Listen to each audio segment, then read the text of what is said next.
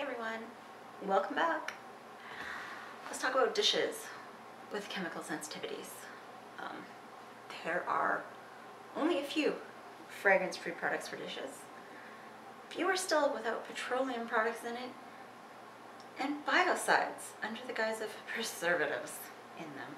Um, you can still find some things though, and alternatives there are for others. Um, let's start with the dishwasher. What detergent and how much largely depends on the type of water. So if you have hard water, like I do, the pods generally don't work. they leave a horrible film on the dishes. I don't recommend pods. I recommend powder. Um, I've tried a few fragrance-free dishwasher detergents. Um, I've also made a homemade one, which there are videos of here on YouTube. Um, we did end up buying Nellie's in a five gallon bucket because they finally released a refill for the dishwasher powder. So that's gonna last me for years and years to come. So I'm not gonna have to bother buying dishwasher detergent. So initially we had bought it at the Home and Garden Show at the local expo. They'd had a stand, we'd wanted to try some of the laundry products, and we managed to get the dishwasher powder put in with it. And it worked pretty good. Um, when we had a really crappy dishwasher, um, I used a scoop of the Nellie's powder, and it's about a tablespoon, the scoop that comes with the Nellie's, and a scoop of my homemade dishwasher powder. And that worked best with the really crappy dishwasher we had. Uh, that one did spring a leak and we decided to replace it instead of repair it because it sucked. And the new one, new, it's about a year old. It was very interesting to buy a new dishwasher during COVID, but pandemic, don't say the C word. Uh, now with the new dishwasher that we bought during the pandemic, um, we just use one scoop of the Nellie's and it's good. And I could probably just use one scoop of the homemade, but I bought a five gallon bucket, so I'm just gonna keep using Nellie's. Um, also in the dishwasher, rinse aid. Uh, maybe with certain types of water, you might be able to get away with not using it. Um, if I don't have a rinse aid in my dishwasher, I get a bit of a white film after a couple of washes. Um, however, mainstream rinse aids are a no. Definitely a no. Um, they all seem to have ingredients that make me ill. And the ones that look like they might be okay have biocides in them. And I don't understand that. Just why? Anyways, what I do, okay, well, I'll start with what I used to do. I used to take a, just a regular cup and put some vinegar in it and put it in the top rack of the dishwasher.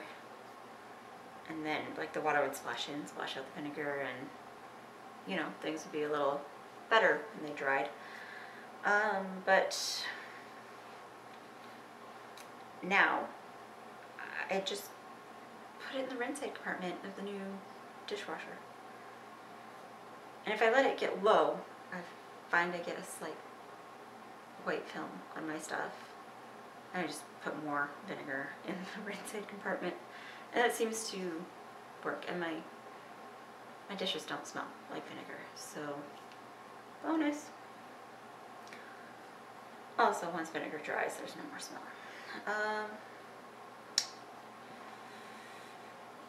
hand washing dishes. Hand washing dishes has been beyond problematic for me. Um, not just because physically I end up in a lot of pain from washing dishes. I can't be around foaming agents anymore. Um, which means absolutely no liquid dish soap. I tried. I tried so many.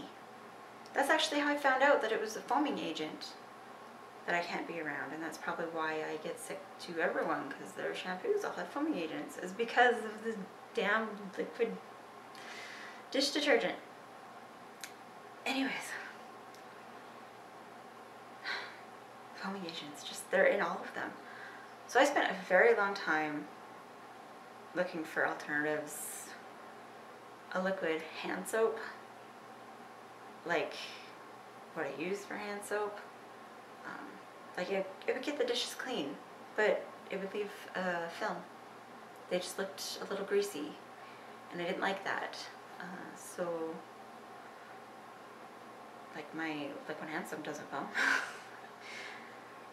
but anyways, um, eventually I found an alternative um, that didn't have a bunch of crap or essential oils in it, and that is the No Tox Life dish block. So it's a bar soap meant for washing dishes. Um, that's what I ended up buying a couple years ago, and that was the only thing that didn't make me sick. Like these really clean liquid dish soaps that everyone was recommending to me were making me ill because of the foaming agents.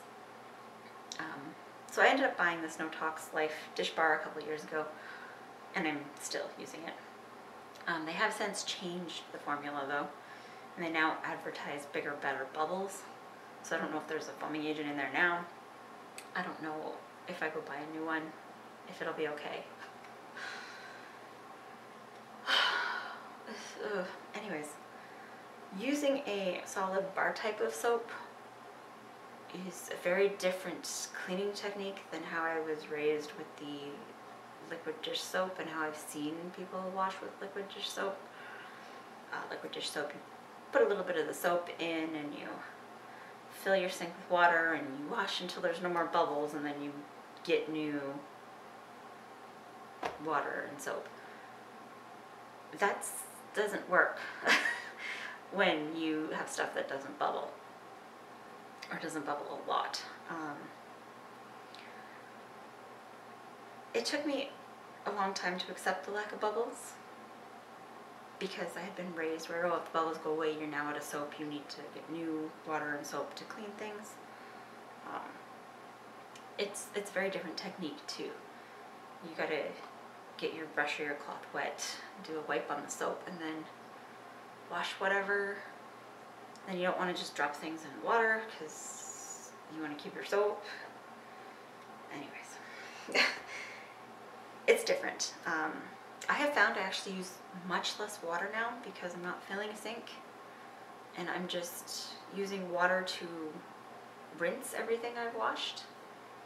And yeah, over time it'll fill the sink and I'll throw things in the sink a bit to soak as I fill the sink, but I use way less water. Um, it was quite a learning curve, but I am glad I was able to figure out and find a product that works. And Hopefully, next year when I need to restock, it's still tolerated. Anyways, that has been my dishes adventure. Thanks for watching. Bye.